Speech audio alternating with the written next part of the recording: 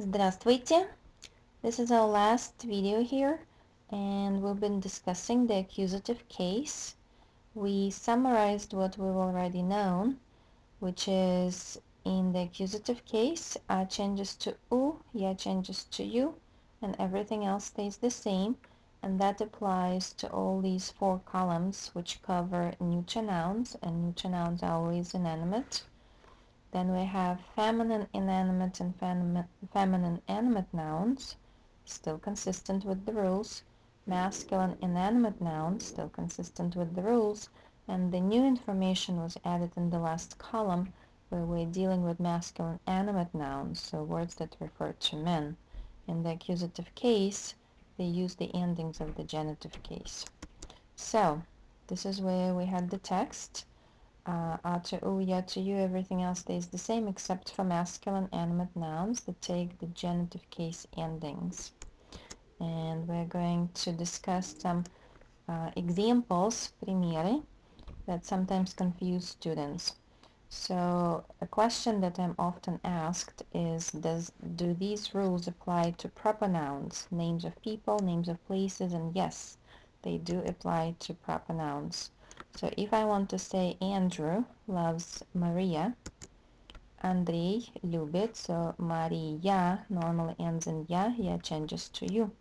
Любит Maria. That's how we know from this ending that this is the person who loves another person and this is the person who receives the love. And if you remember, in Russian the word order is not uh, fixed, it's flexible. I can change words around. I can say Lubit Andrei Mariu, Mariu Lubit Andrei, Mariu Andrei Lubit. I can say anything I want here in any order. But from this ending, I will know that uh, without no change, this word will tell me that's the subject. And from this ending, I'll know this is the object of the sentence. That's how we show what in English you guys show with word order. We show the same things, the meaning. We express the meaning with endings we show that with the endings. So, Larissa loves Victor.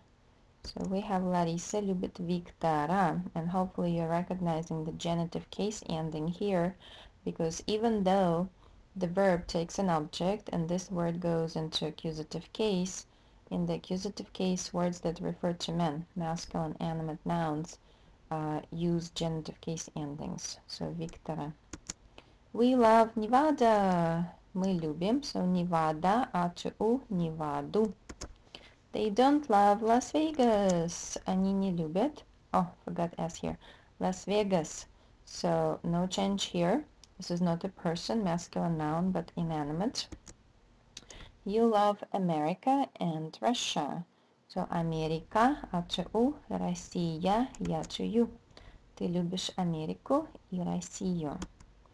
So another thing that sometimes I get questions about is words that end in a soft sign. So I added a third line everywhere. We can get soft sign words with feminine nouns and masculine nouns. So if it's feminine, it's the same rule. A to u, ya to you, everything else stays the same. So novaya sol, novoyu sol. So everything else, including soft sign, stays the same. And here we changed a to u, ya to you. Novaya дочь, новую дочь. So soft sign stays the same. А to у, я to you. Новый день, новый день. Everything else stays the same with inanimate masculine nouns. But once we get to masculine animate, see what happens. Зять is son-in-law. So новый зять, нового зятя. Both endings are coming from genitive case. So hopefully that answers that question. And the last thing is about those tricky nouns that look like feminine but actually mean men. So let's see. She knows your mom. Your mom твоя мама. Она знает я чью, а чью твою маму. She also knows your dad. Your dad твой папа. So even though this looks like a feminine noun, the describing word is masculine, твой. And now look what happens. This word changes as another word would change with a ending a to u. So even though it refers to men, a to u. But this word is in masculine form, so it changes uh, as genitive case word.